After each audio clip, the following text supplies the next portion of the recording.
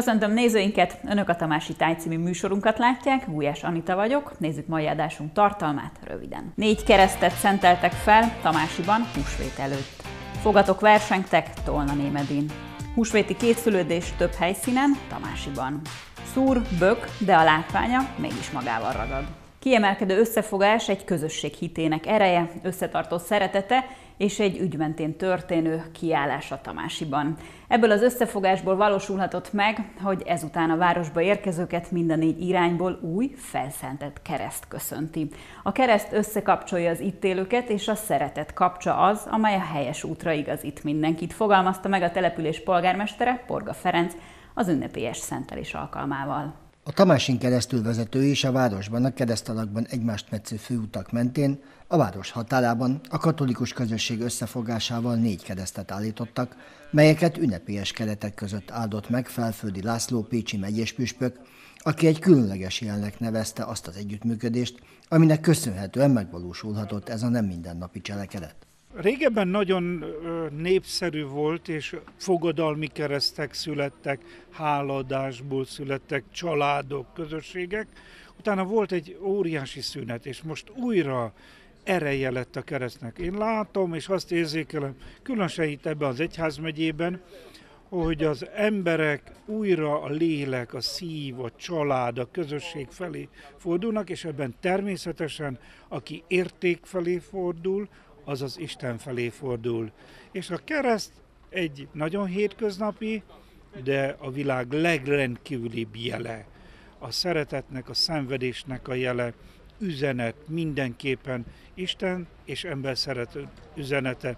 És ezért nagyon hálás vagyok, hogy itt Tamásiban most négy kereszt született valójában a bejáratoknál, a, a város bejáratainál, és azt gondolom ez üzenet a világnak, Európának, ahol eltüntetik a kereszteket, ahol szégyellik a kereszteket, hogy az élet az csak itt fog élni, ott fog gazdagodni, ahol a szeretet gazdagodik, és a kereszt nélkül a szeretet nagyon gyenge, és nagyon összeesett lesz. De ha keresztel együtt tudjuk vállalni, akkor él a szeretet, és akkor él a család, él az ember.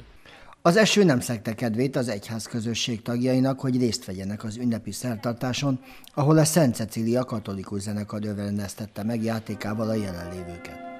Podga Ferenc Tamási polgármestere azt mondta, a kereszteket 2021 végén sikerült felállítani. Tavaly évtől kezdve eh, négy hatalmas, gyönyörű gránit eh, kereszt köszönti az ideérkezőket, és akár az innen távozókat. A keresztállítás, az, főleg az útmenti keresztállítás egy régi hagyomány itt ezen a környéken is. Elsősorban, ha fizikailag nézzük, földrajzi határokat jelöl, mint ahogy az imént is említettem, a város határát is érzik ezek a keresztek. Lelki, lelki értelemben nyilván sokkal többet jelent. Azt jelenti, hogy a itt lakók többsége keresztény, az itt lakók többsége hisz azokban az értékekben, amelyet a keresztény közösséghez való tartozást jelent. Ez egy összetartozás, összekapcsoltság az itt élőkkel, az itt lakókkal, tehát én azt gondolom, hogy egy óriási lelki jelentősége is van annak, hogy innentől kezdve kereszteket itt a városba bevezető út mentén is, is láthatunk. A négy új kereszt állítását Mátyás Inde korábbi plébános kezdeményezte, melyhez csatlakozott Szijjártó József az egyházközösség tagja, aki a keresztek végleges elkészültéig segítette koordinálni a megvalósulást, mondta el Csibi Imre plébános. Az egyértelmű, hogy vannak célok, amiért össze tudnak fogni. Remélem, hogy az elkövetkezendő hónapokban, években, amit itten eltölthetek, minél több ilyen eseményt tudunk együtt megünnepelni, amiben tamási katolikus közösség, de talán nem csak a katolikus közösség, hanem tamási minden jó akaratú emberének a, az összefogását, annak eredményeit, gyümölcseit különböző módokon, de meg tudjuk ünnepelni majd.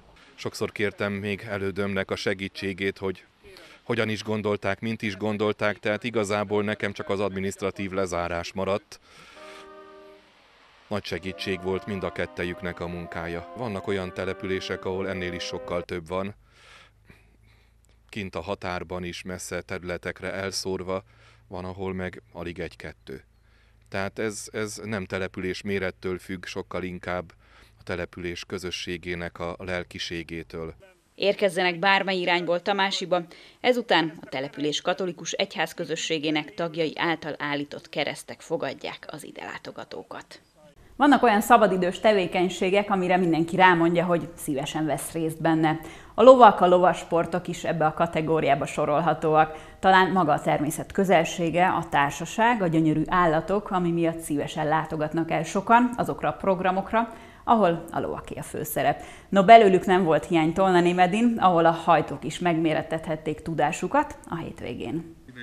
A Tolnanémedi sportpálya harmadik alkalommal adott helyszínt fogadhajtó versenynek, ahol akadályhajtásban kellett bizonyítania a résztvevőknek. Mivel most már nincs is foci csapatunk, ugye megszűnt a településen a, a sport, így hát a focipályát tudjuk használni, de elsősorban ugye a talaj minősége is megfelelő arra, mert tehát nem, tesz, nem tennénk kárt, hogyha foci csapat is lenne, mert olyan kemény a talaj, hogy nem csinálnának a lovak meg a, a kocsik árt benne. Mellette meg, hogyha körbenézünk, ugye a panoráma, itt a dombok között fekszik ez a kis sportpálya, tehát egy nagyon szép helyen történik ez az esemény. Ez már teljesen kihalt a, a lovas fogalom a településen, sőt szerintem a környéken sincsenek már igazából nagyon. Egy az, hogy sokba kerül is a lovaknak a fenntartása, ugye régen a szegény ember állata volt a ló, tehát minden, há, minden háznál volt, vagy legtöbb háznál volt ló. Ugye ezek itt az idővel, meg a modern világ egyre jobban fejlődéssel ezek így megszűntek a településen, de magában az esemény, tehát magában a feeling ennek a rendezvénynek, az meg egy olyan szép történet, hogy én igyekszem ezt megtartani, amíg legalábbis lehetőségem van rá. Nagyon szeretik, tehát tényleg imádják a lovakat, annak ellenére, hogy nincs a környéken. Ugye itt jelen esetben ugye fogadhajtó versenyen azért egy kicsit jobban, szebbek, szebben a lovak is jobban ápoltabbak, mint az átlagos hétköznapokon. Ugye a fogatosok is szépen kiöltözve, tehát azért megadják a módját annak, hogy az esemény alkalomhoz illően öltözzenek. Hát teljes mértékben az önkormányzat rendezi az eseményt, meg ugye egy nagyon jó barátommal közösen. Tehát itt nálunk már megszokott az, hogy ha van egy valamilyen rendezvény, ugye az ételfogyasztás az ingyenes. Tehát itt a nyugdíjas, az Aranyalkó nyugdíjas klub tagjai reggel lángossal várnak mindenkit, utána napközben ugye most például három birkát vágtunk, abból van birkapörkölt, szarvaspörkölt, marhapörkölt, meg ez az erdélyi húsgombóc leves még mellette, úgyhogy senki nem fog éhezni a mai nap folyamán. És valóban a Tolna némediek híresek vendégszeretetükről, amiből a fogadhajtó verseny alkalmával sem volt hiány. Az asszonyok szorgosan nyújtották és sütötték a lángost, hogy mindenki frissen fogyaszthassa, eközben javában zajlott a pályán a fogadhajtó verseny. A látogatók a kissé kellemetlen időjárás ellenére sem panaszkodtak, többen kilométereket utaztak, hogy le nem maradjanak az eseményről, és hogy mit is szeretnek a fogadhajtó versenyekben. A Kölesről érkezett Borza Józsefné elárulta. Versenyt, meg az ismerősöket, nagyon sok lovas barátunk van. Hát mi már 15 éve járunk. Hajter József Zicsi újfaluból érkezett, és mint mondta, nem tudnák elképzelni szabadidejüket lovak, lovas versenyek nélkül. Szeressük az állatot, és minden egyes fogadhajtáson ott vagyunk. Akár mára mennek mindenhol. A megyébe is, a megyén kívül is, mindenhol ott vagyunk. Fritz József, aki már tíz éve versenyez, elárulta, hogy a sok gyakorlás, a lovak ismerete nélkülözhetetlen a jó versenyzéshez. Az előbb látott akadályhajtást egy verőhibával fejezte be a fogat. Magyar félvér fogat, egy herélt és egy kanca, kilenc évesek, második évük együtt versenybe. 20 akadály volt, 24 sejbe pár, ha jól tudom, 26 talán. Eddig, nem, eddig még nem rossznak számít ez a, ezen a mai napon de aztán majd délután kiderül, ott sok minden változhat még. A segédhajtó feladatai közül az egyik legfontosabb a szabályos ülésmód.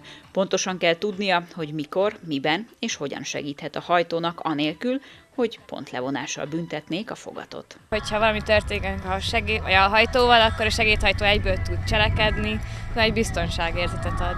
Kiskorom óta nagyon álmom volt, hogy lovazhassak, lovagoljak, és végül mindent csinálok. Fogatot, fogathajtásból segédhajtó vagyok, meg már lovagolok is. A Tolnani Medin immáron harmadik alkalommal megrendezett fogadhajtóverseny ismét nagy sikert aratott, nem csak a helyiek, a környékbeliek részéről, hanem a verseny iránt rajongók körében is.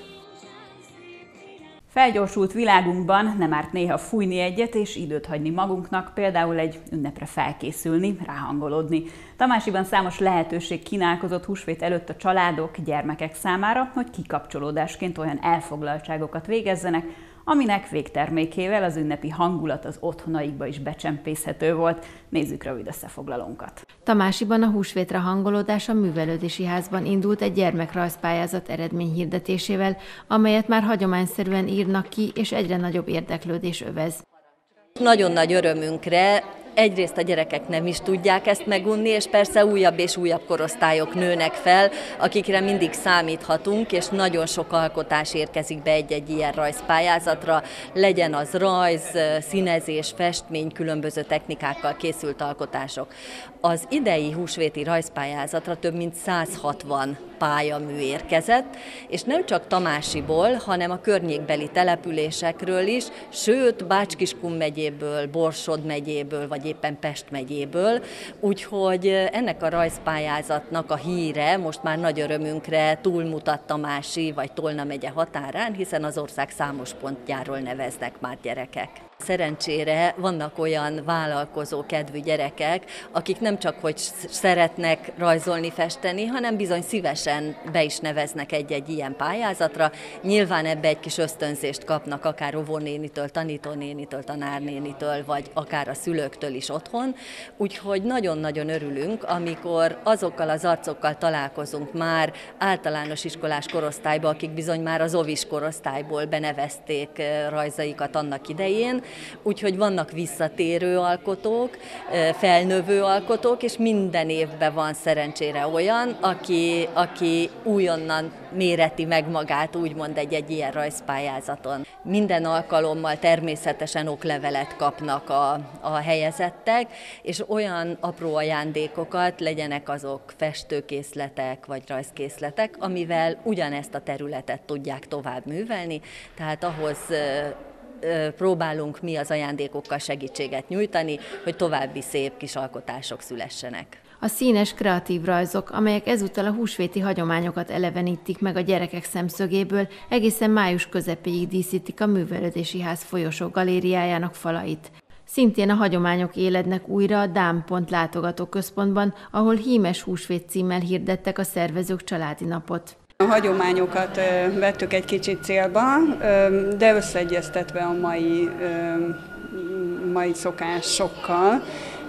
Inkább az volna a célunk ezzel, hogy a hagyományok azok, azok ne a régmúlt legyen csak, hanem fedezzük fel azt, hogy például a tojás hímezéshez, a hímes tojások készítéséhez a régi technikákat a mai színekkel, a mai divatokkal is nagyon jól össze lehet hozni. Az volt a célunk, hogy egy kicsit a, a területünkhöz, itt a koppány mentéhez fűződő népi húsvéthoz fűződő népi hiedelmek, szokásokat felelevenítsük, és így ma a mai vendégeink egy rendhagyó tárlatvezetést kapnak, amikor, amikor is kollégám elmeséli, hogy milyen szokások voltak ez időtájt, nem csak, hát nem feltétlenül itt a másikban, hanem az összes környező településen, némelyik egészen különös, hogy például Ozorán húsvétkor hajnalban fürödtek, a, a, megmosták az arcukat a, a folyóvízben, hogy ne legyenek szeplősek, vagy ne legyenek betegek, nem szabadott mással az idő alatt találkozni.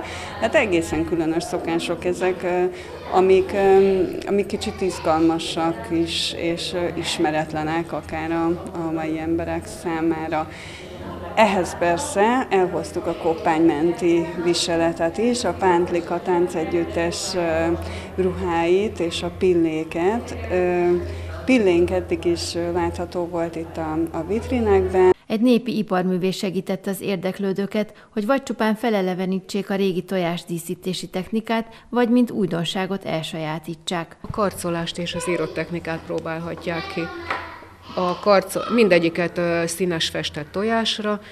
A karcolás egy kicsit nehezebbnek bizonyul itt, úgy tűnik a gyakorlók körében, Az írókázás az megy mindenkinek, gicával írott tojás az az ismertebb inkább, a karcolás az kevésbé ismert, és bonyolultabb is, nehezebb elsajátítani, mint az írókázást. Hoztam hagyományos mintákat, néhány lapon hoztam mintákat, de úgy látom, itt olyan kreatívak a gyakorlók, hogy mindenki saját mintát készít magának. A természet közelsége pedig adta a másik tojásfestési ötletet. Előkerültek a különféle növények, amelyek szép mintákat eredményezhetnek a húsvét egyik fontos szimbólumán. A húsvéti játszóház volt az utolsó helyszín, ahol a családok apró ajándékokat készíthettek a gyerkőcökkel. Csanád boldogan alkotja meg saját kezüleg családjának a kis meglepetéseket. Azért várom a húsvétot, mert nagyon kedves nekem, hogy ajándékozhatok. Egy ilyen kézműves kis ilyen tyúkocskával anyáiknak. Számos kreatív ötletből válogathattak a gyerekek a délelőtt folyamán. Loretta egy dekorálásra alkalmas papírdiszt készített. Ilyen kis tojás, amin van egy ilyen csik, és ilyen kis cuki nyuszit lehet ráragasztani. Jön a húsvéti nyuszi, és akkor hozza ajándékot, és így tök jó. Tamásiban több lehetőség is adott volt, hogy az ünnepi készülődés mindenki számára öröm legyen. Tamásiban található az ország egyik legnagyobb télálló kaktuszgyűjteménye. Egy mára már tudatosan alakított bemutatókert, ahol a több mint 1500 kaktusz mellett agávék sokasága teszi még különlegesebbé a kertet, amely a tüskéi miatt egyáltalán nem állatbarát, de óvják is ettől a házi kedvenceiket az ott élők. A nézelődőknek is oda kell figyelni, hova lépnek, mihez érnek hozzá, hiszen a tüskék tömkelegével végződhet egy ilyen látogatás, ha figyelmetlen a látogató. A látvány viszont mutatom is.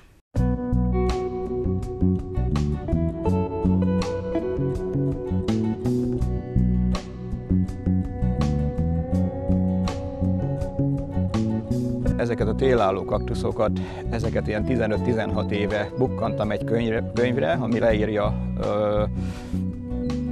hogy, hogy ezeket hogy kell nevelni, egyáltalán léteznek ilyen kaktuszok, és ebből szemezgettem, véletlen folytán került a kezembe, szemezgettem ebből a könyvből, és felvettem a kapcsolatot olyan gyűjtőkkel, akik már ezeket a növényeket gyűjtötték.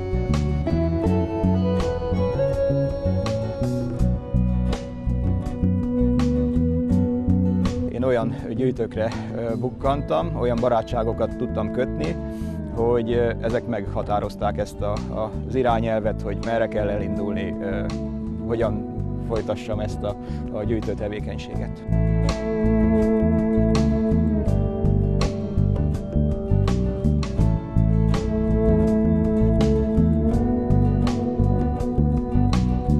A Tamásiban felelhető gyűjteményhez hasonló az országban nem igen található. Nagy kereskedésben nem fogsz télálló kaktuszt venni, ezek speciálisan csak gyűjtőktől beszerezhetők. Hogyha nem talál az ember itt hol olyan gyűjtőt, akit tud vásárolni, akkor kénytelen az USA-ból, magkatalógusokból hozatni magot, elvetni, felnevelni, és akkor egy tíz év múlva gyönyörködhet a virágjukban.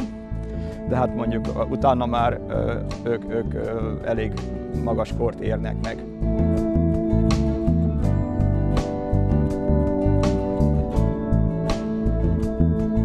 Ugye ezek gyűjtőszámos eredetiség megjelöléses növények, ugye hogyha az embernek van ideje és összeporoz két fajta azonost, abból fajta azonos magot nyer, és abból ugye ugyanolyan növény származik, de vannak ezek a medvetalpak, itt mögöttem látszik, ezekről nagyon gyorsan lehet szaporítani szártagról, ugye.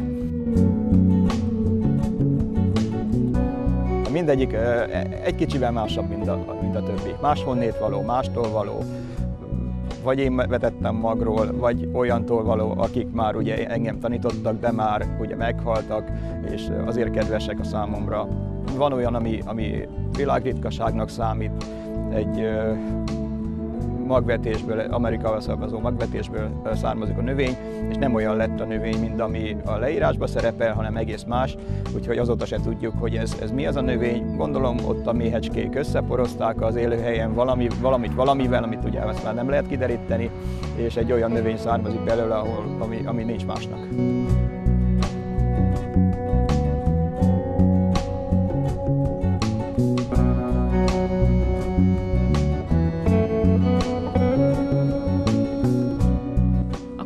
Kaktuszok ugyan sok gondozást nem igényelnek, de ha hozzájuk kell nyúlni, áttelepítés, szaporítás vagy bármi más miatt, akkor azt elővigyázatosan kell tenni, különben kellemetlen napokat tudnak okozni.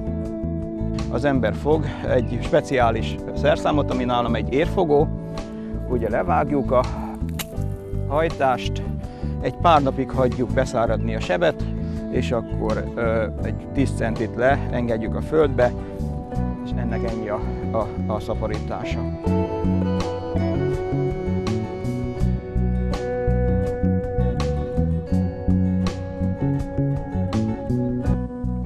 A törzsállomány egy saját kialakítású üvegházban kapott helyet. Mindegyik növényből több darab ö, áll rendelkezésemre, hogyha azonos magot szeretnék fogni, akkor itt könnyebb a beporzásuk. Nek hát az az igazság, hogyha ennyi növénynek helyet szeretnénk kint a kertbe, akkor több hektárnyi terület kellene hozzá.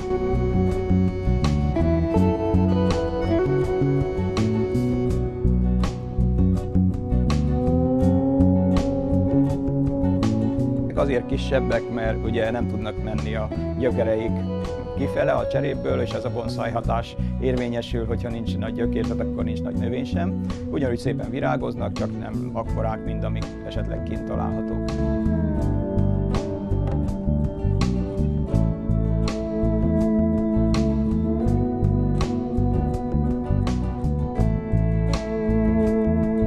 Azért vannak itt bent, mert ugye ezek a télálló kaktuszok a mexikói határtól egész Kanadáig elterjedtek.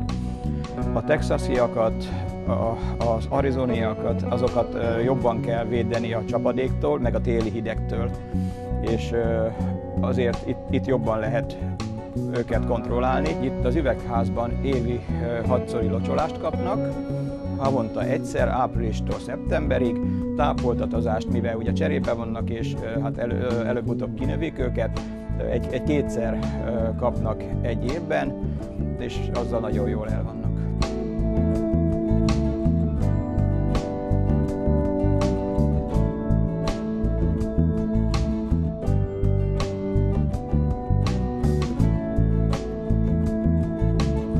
Előttem nem sok tapasztalat volt. Én tapasztaltam ki a, a 80%-et ezeknek a növényeknek, a tartásuknak, még annyira gyerekcipőben járt, mikor én elkezdtem, hogy, hogy nem nagyon lehetett ilyen referenciákat találni. Én az első kaktuszkertemet még a saját fejem után csináltam, úgyhogy ott nem védtem le a talajt geotextíliával, és ugye ott, ott megjelennek a gyomok. Az a lényeg, hogy, hogy ezeknek elég laza talaj kell. Úgyhogy én úgy ültetem a növényeket, hogy kiváljuk egy vödörnyi földet, azt meglazítom sorderral, zuzalékkal, úgy vissza a növény, hogy a, a gyökere az elengedje a csapadékot, amit kap, és csak annyit vegyen fel, amennyi számára szükséges. A télálló kaktuszokat nem kell félteni a hidegtől, nem tesz bennük kárt, sőt, elősegíti a még szebb virágzást. Mikor turbuljázik egy kaktusz, akkor ugye metszeni kell róla a hajtásokat, mert, mert iszonyú nagyra tudnak nőni, hogyha hagyjuk őket.